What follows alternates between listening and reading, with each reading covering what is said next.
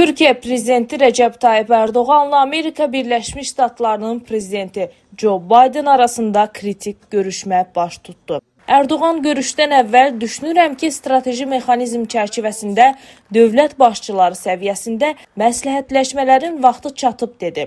Görüşü bu istiqamətdə atılan ilk addım kimi görürəm sözlərini əlavə etdi. Prezident Biden isə İsveç qərarına görə Türkiyə prezidenti Rəcəb Tayyib Ərdoğana təşəkkür etdi.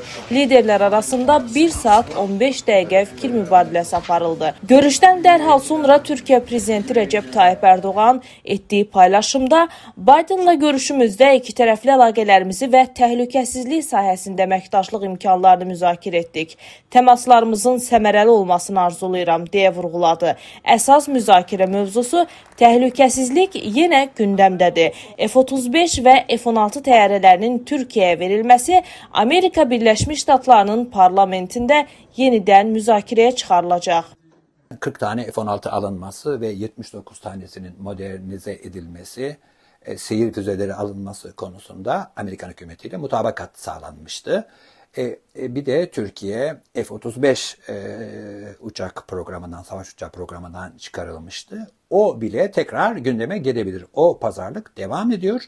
Amerikan hükümeti taahhütte bulundu. Neticede Vilnius'ta Türkiye'nin Milli Savunma Bakanı ve ABD'li meslektaşı bu mevzuları konuşuyor. Bir al-ver dengesiyle Erdoğan rasyonel bir şekilde bu meseleyi e, çözümledi.